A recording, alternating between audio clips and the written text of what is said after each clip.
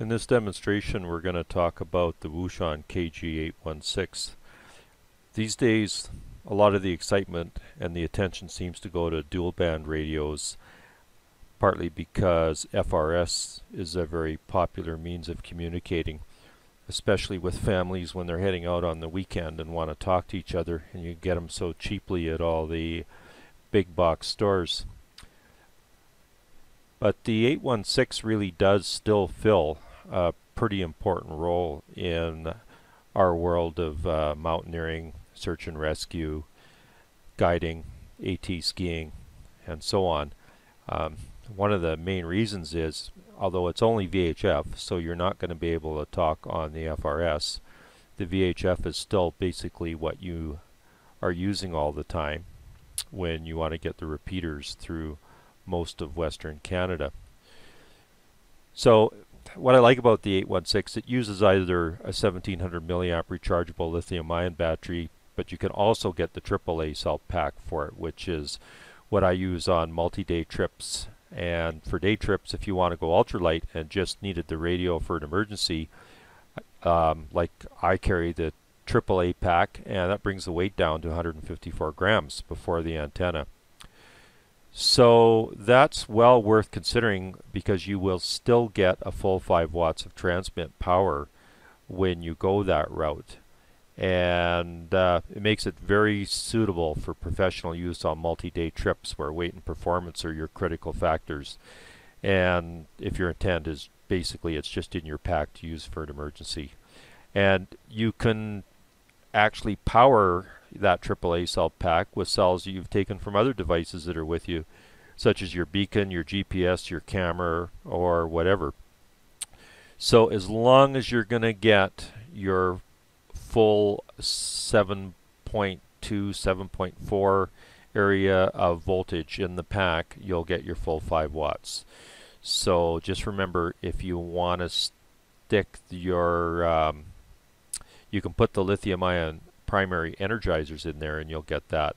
But if you want to put in your rechargeable uh, low self-discharge batteries like the Eneloops, uh, nickel metal hydride chemistry, you won't get your 5 watts out of that.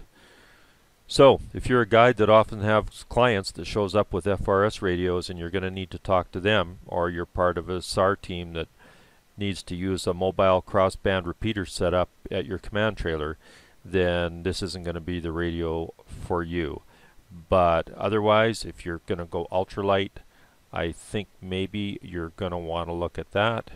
And then if you are, then um, you might want to go through the rest of this demonstration and see how to program it in the field.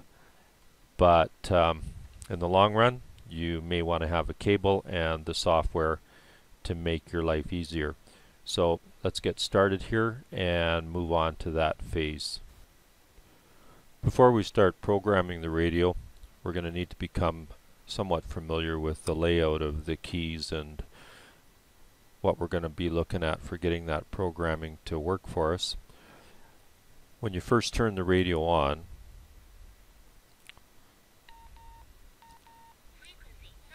it talks to you. And if she says frequency mode then you're also what's known in VFO mode. And that's like a scratch pad where you do your data entry get your frequency sorted out and all the other programming parameters. So Wouxun has produced this cheat sheet and after you've turned it on you're in frequency mode hit the little red menu button in the upper left hand side. And that's what you'll hear. And you'll be presented with this one right here the step. And as you can see the frequency stepping in that was it going back to frequency mode by the way. It only gives you this option in that amount of time and then you're back to the frequency mode display. So you've got to make your choice before it defaults back there again. So as we're saying, your frequency stepping there is what you could get started with and if you want to make changes to any of these menu items you press the up or down keys generally and then make your selection. In this case it would be selecting your channel stepping. Here is um, menu save and that's basically setting your battery pack save mode. Squelch levels and then 4 is something that we will be dealing with in terms of setting the transmitting frequencies. So we'll be dealing with that and that will be one important one. We will also then moving on with our shortcuts you can see as you go through the menu system you'll be getting CTCSS, Vox, setting your receiving CTCSS which is probably not something that we're going to touch on. And the transmitting CTCSS is something that we will need to deal with so that's going to be menu item 9 we probably don't need to set the side keys. Uh, you will be dealing with locking your keypad. Sorry about that. That's a good thing to do. Uh, you can customize your auto backlighting. Then when you keep this is in the manual by the way. 13 will be important for setting the offset. Power on message. I like to know what my voltage is so I set that as a default when I'm using the software for programming it. Editing the channel name is going to be another one that's important so make a note of that and put your highlighter over that. Your memory channel you will need that for picking the correct memory channel.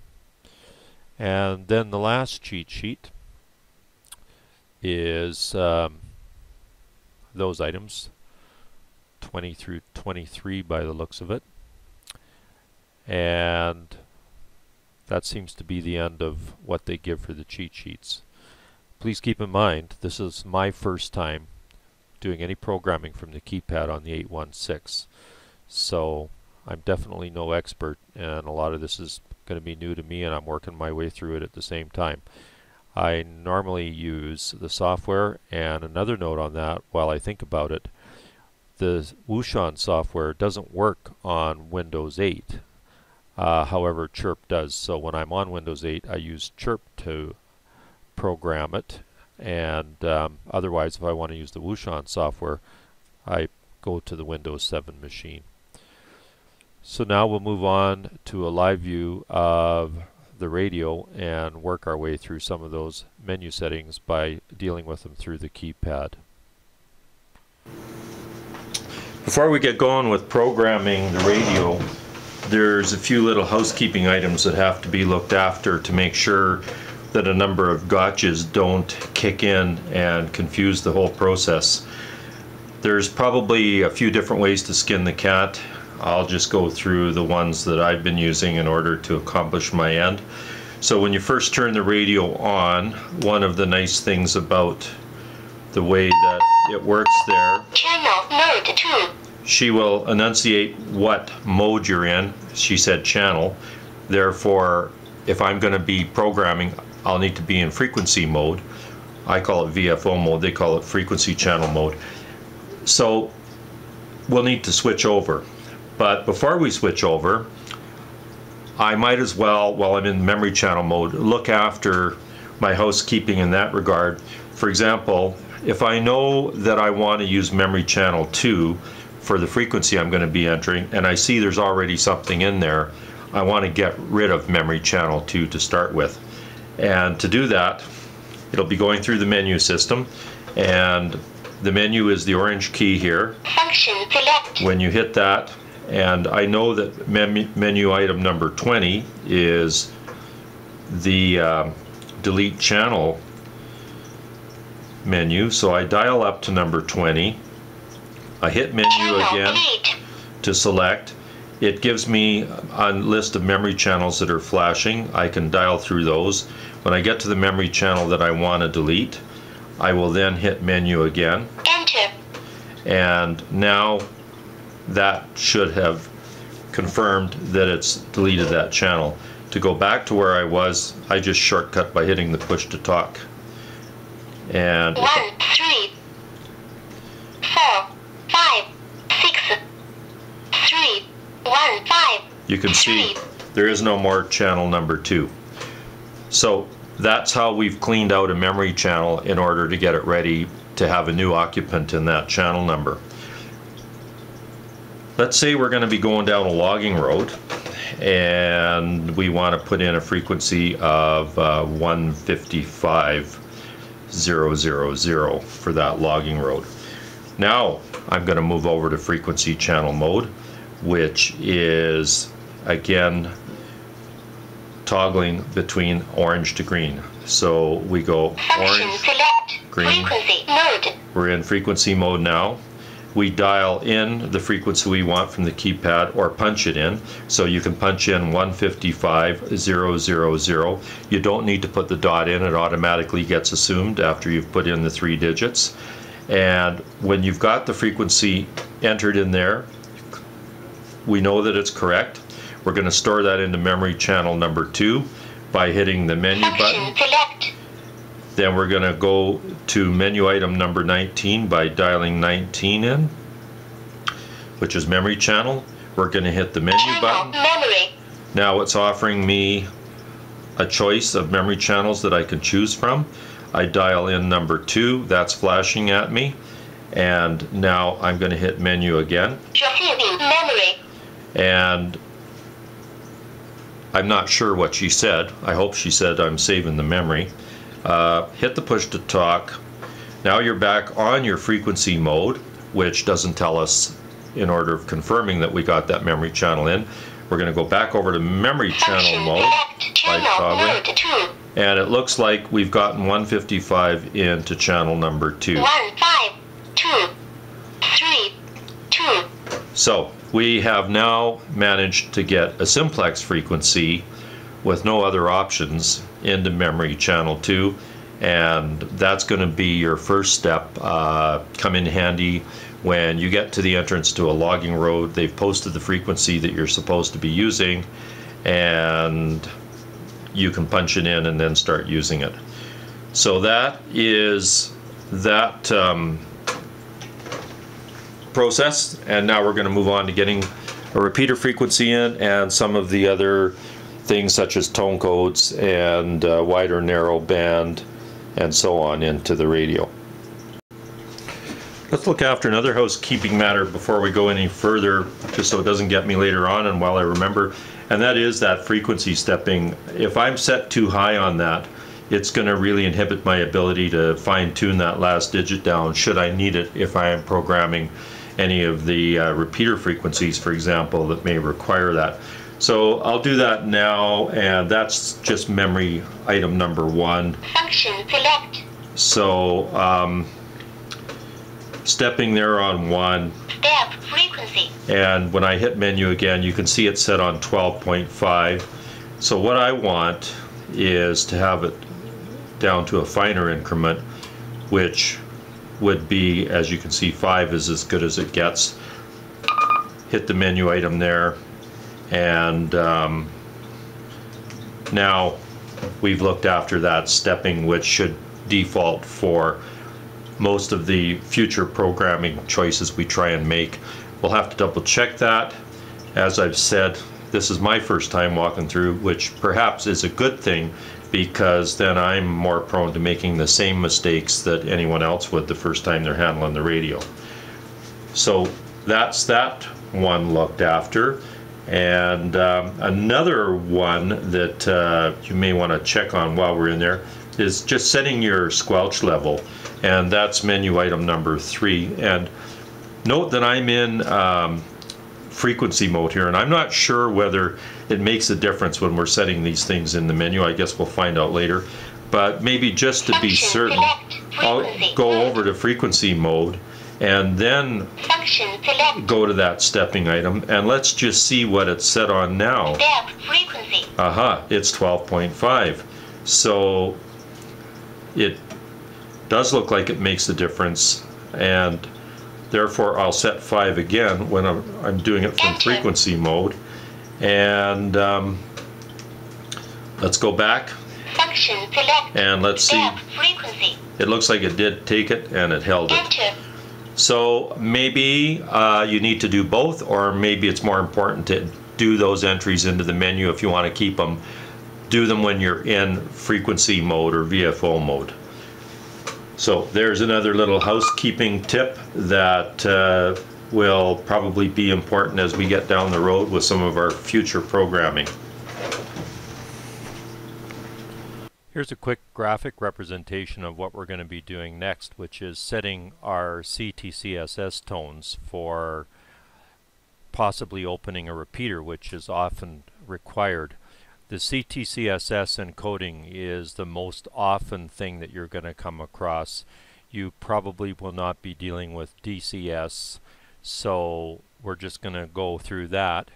So from your shortcut sheet you can see that it's menu item number 9 which leads you in to the transmitting side of CTCSS. You can also set your radio so that it requires uh, itself to hear a CTCSS encode in order to open its squelch circuit. Uh, that's not normally used in our field but encoding sending the CTCSS tone code up to the repeater is very common.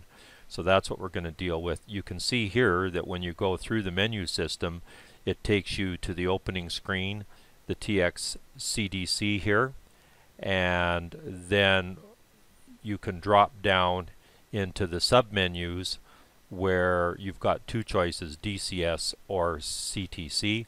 That's what you're going to pick is the CTC which will lead you into taking your choices between 50 CTCSS tone code groups going from 67 to 254 uh, 0.1 hertz.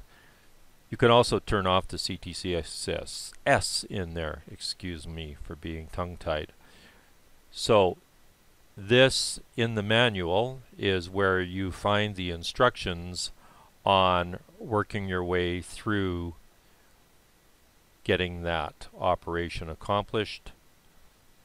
So that's what we're going to go try and see if we can do it in much the same way that the manual outlines it or if there is some further complications that we're not aware of. We've just had a look at how we're going to go through the CTCSS programming flow and uh, so now we're back here on our frequency channel and we're in frequency mode. So if you were select channel mode if you were in channel 2 with your frequency, now let's go back to frequency channel mode. frequency mode. And then we're going to go in and select the appropriate menu item. Uh, we were on 3 here. I just finished setting the squelch level to 3. It was on 5 while we were away. So you might want to check that while you're in there. And the CTCSS menu is menu item number 9. So we get to number 9, we hit the orange button, and then we select the CTC option. CTCSS. And then we select the CTCSS tone code that we want to use. In this case, I want a 151.4. I hit the Enter. NU, and uh, that stores it into memory then I can hit the exit button. And now if I hit the push to talk, let's go to menu channel number two. Channel mode 2. And let's just see if we hit the push to talk, we should see the CT symbol come up in the upper left hand corner. And we haven't. So that would mean that it's not stored into the memory. Let's go back over to frequency mode and try that again and CT does come up in the upper left hand corner. So I would think that now we've got to store that into memory yet again and I'm just wondering what will happen when we try to do that so let's find out together.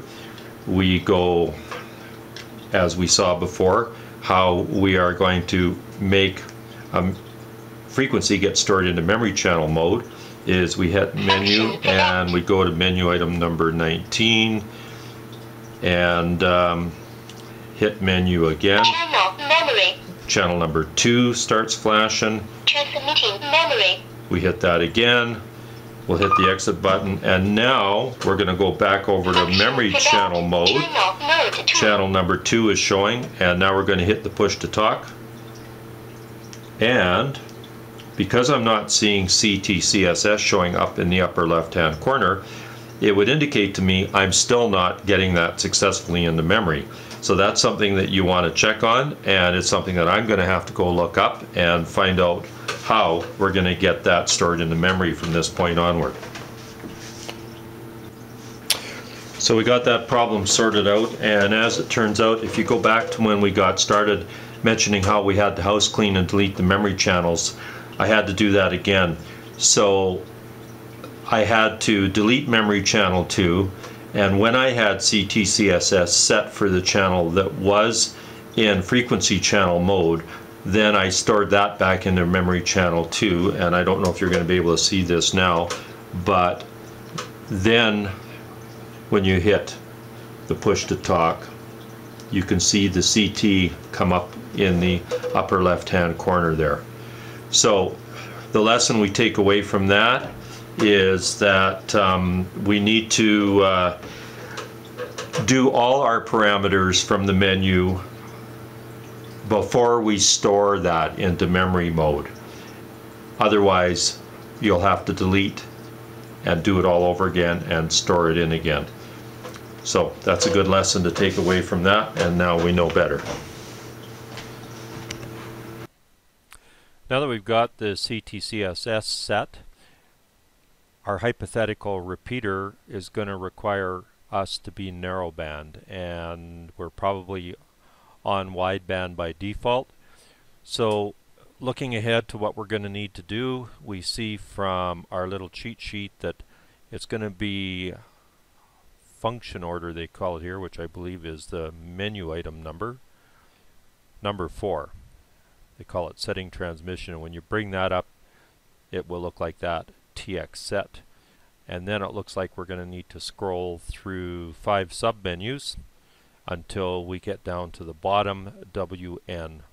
And then if we go over here, we can see our two options are going to be wide 25 kilohertz or narrow 12.5 and it tells us that more details are on page 18 of the manual if we go to the manual it's actually page 17 and it's going to walk us through what's available with those settings. Wide narrow is the fifth one down. We go down here and here we go selecting wide narrow function. And it tells you the steps to go through. We will press menu and then go number 4 TX set. Then we're going to get to that window TXP we keep scrolling down to wide narrow and when we get the one we want on narrow we press menu to confirm and then exit to return to standby. So let's go to the radio and see if it will work that way. Here we are in frequency channel mode Function select. and I think we said it was going to be number four, did we not? And then we hit menu and then we're going to scroll down to wide narrow, hit menu again, it's on wide, we move it to narrow, hit menu okay again, that saved it, and then we hit exit. And I see we have an N designation in the upper right hand corner of the screen over the zero.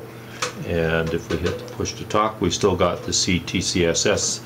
So it looks like now we're transmitting on 155 with CTCSS and it's on narrowband. So we have got our simplex there. If we store that to channel 2, we'll have a simplex channel stored in channel 2. However, what if we wanted that to be a repeater? Now, our options are, if we did just want that as simplex, I would store this to channel 2. It will remain in frequency channel mode, those settings, when I go back there.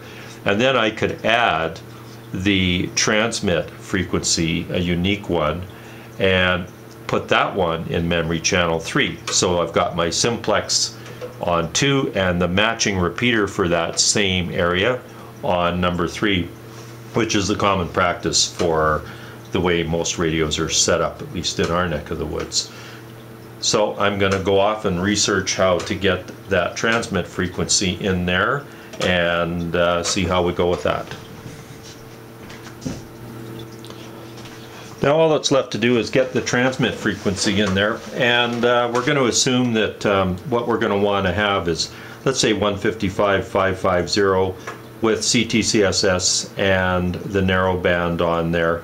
So remember we had problems with overwriting memory so I think to be safe it's good practice. We're going to go back and delete memory channel 2 because it may not store properly what we're trying to do. So I'm going to go back to memory menu item, sorry, menu item number 20 and I'm going to hit the orange and I'm going to delete channel number 2 and then go back. And now I'm in VFO mode and I've got 155 which is my receive frequency. It's on narrowband and it's still got the CTCSS so I will now now that I've got all those things the way I want them in there um, we were probably okay but just to be sure I'm gonna go now and store that into memory channel number two which is menu item number 19, hit the orange button.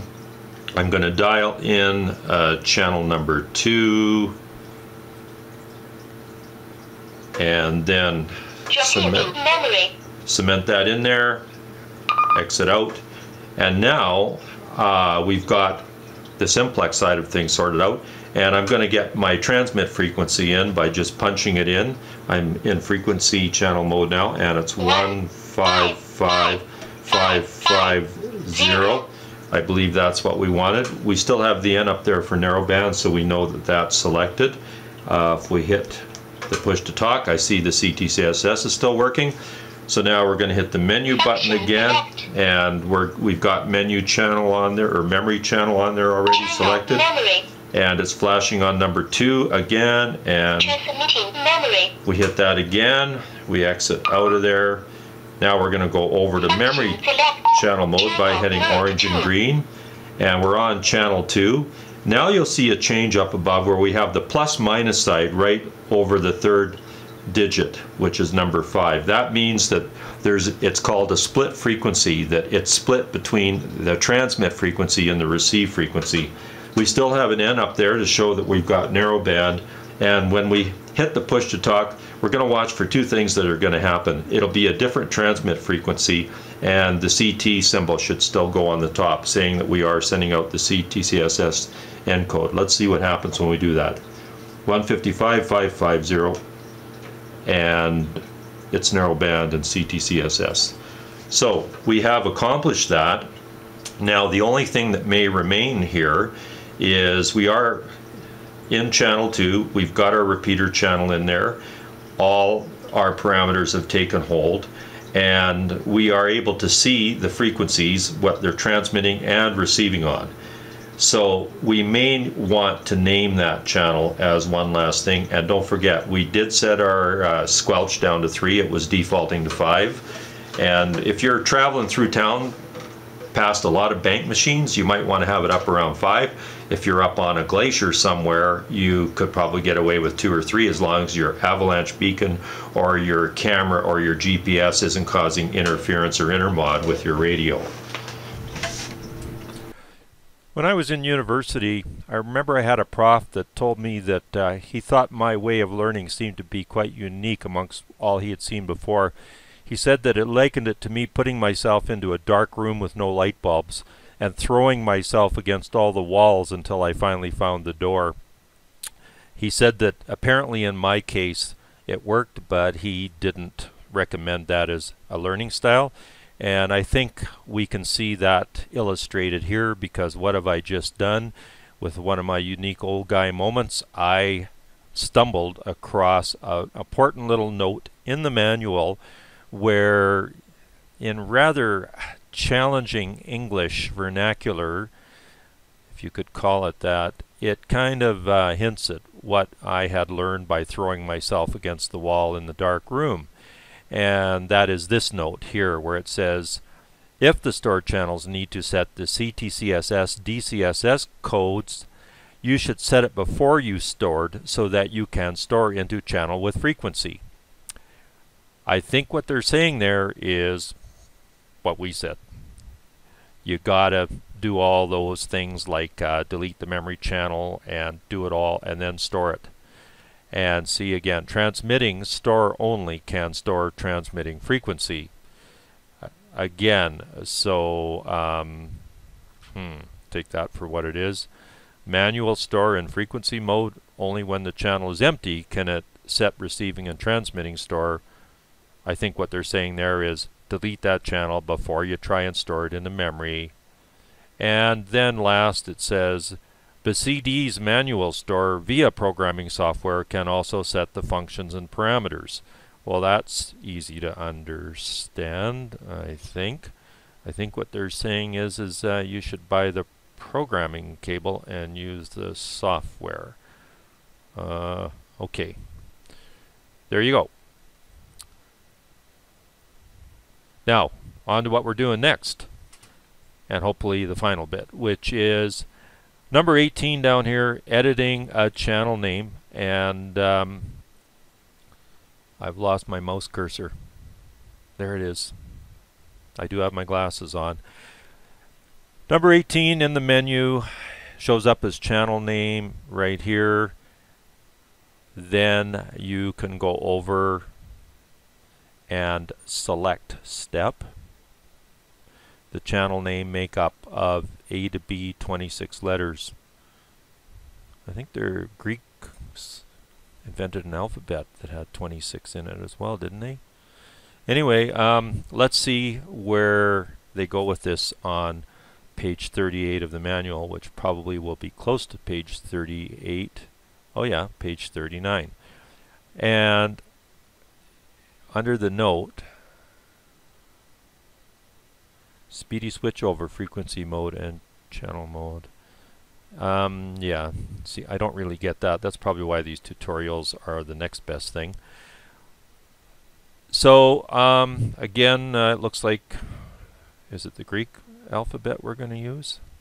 And channel name should be less than 6 in length. I think they mean it should be 6 or less in length.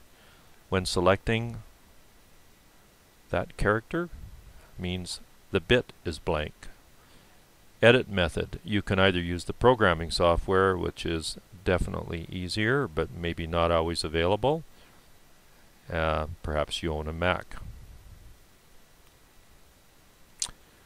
Via keypad of transceiver. Uh, editing. At least one channel should have been stored. So we've done that with channel 2. The chan ah, this is probably an important point to note. The transceiver should be in channel mode. So we, for the first time, we won't be working in frequency mode or VFO mode. We'll be working in memory channel mode. And then when we are, we will edit the channel name.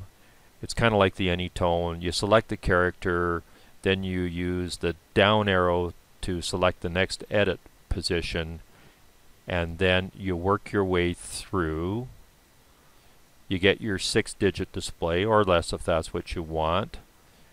And um, when you get to where you want to be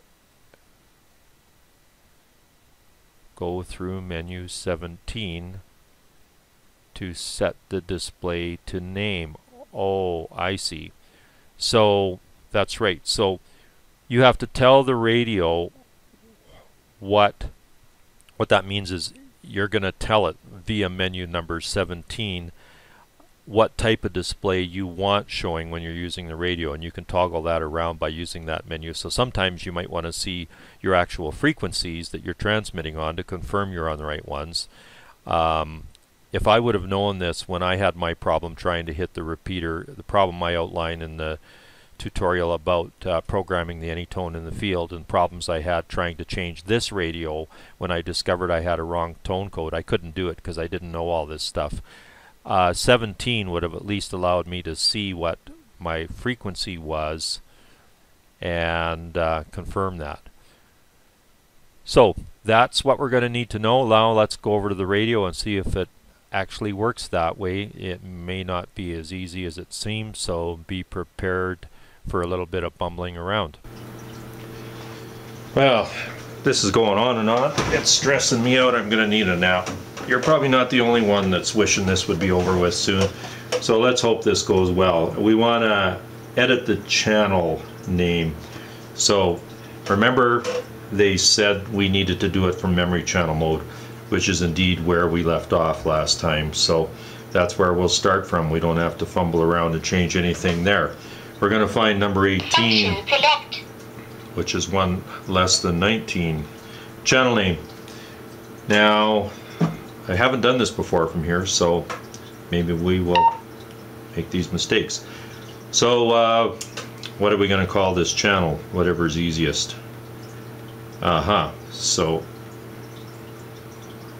I have no idea why it started to dial that on on the fourth digit, so we'll try moving the... I see. The arrow keys.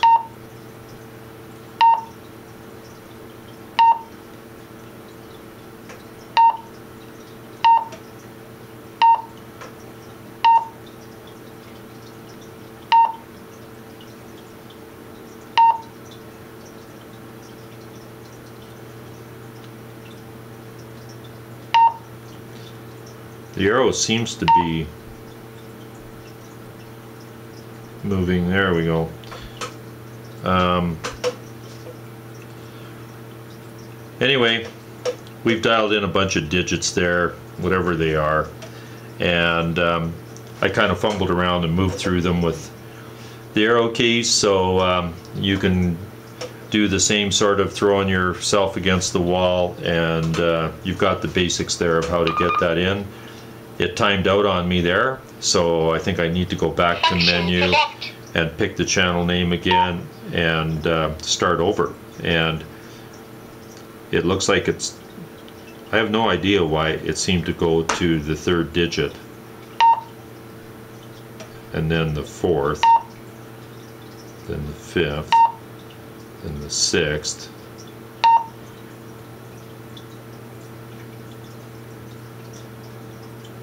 and then it randomly decides to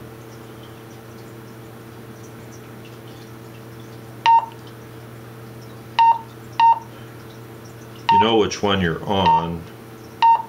So the arrows are changing the digit. And my dial also seems to be changing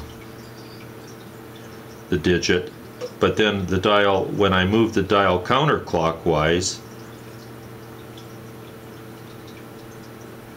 It seems that the only way I can change the position is to move my dial counterclockwise and then choose my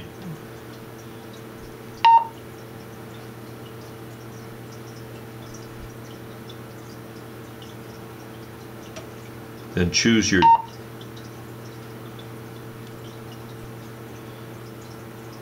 oh man all right let's let's assume that this is the way it seems to work. In order to pick your position, turn your dial counterclockwise. In order to pick your digit, use the up arrow key. Now, uh, in spite of what the manual says, that seems to be about it. And then you got to save it, or it's going to time out like that.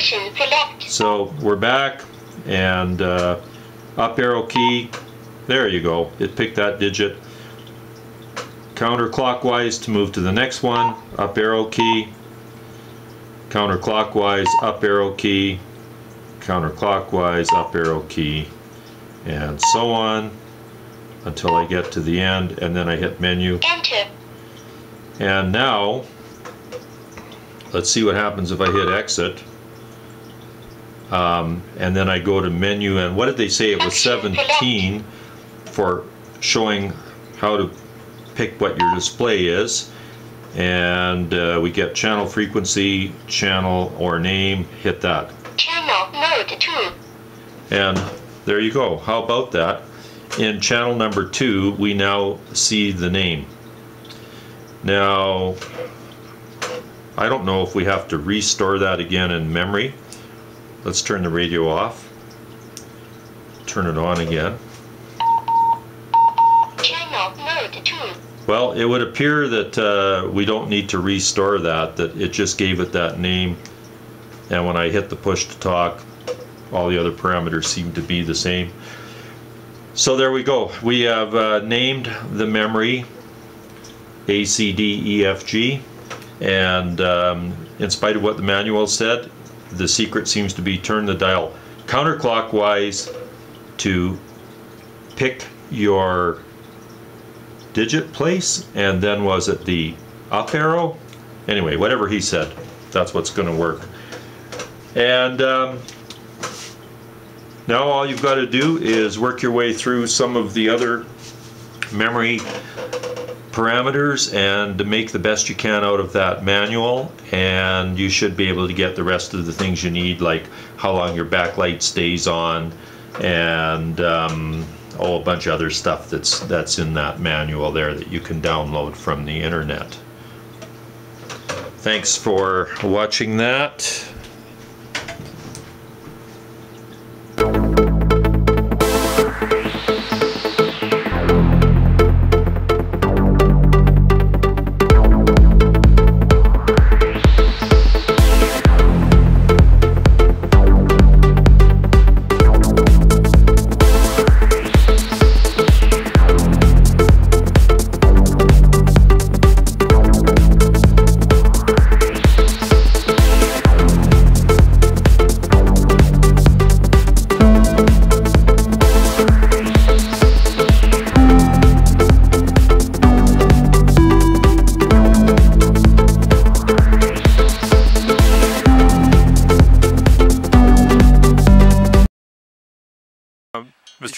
Would you like to explain what you're doing right now?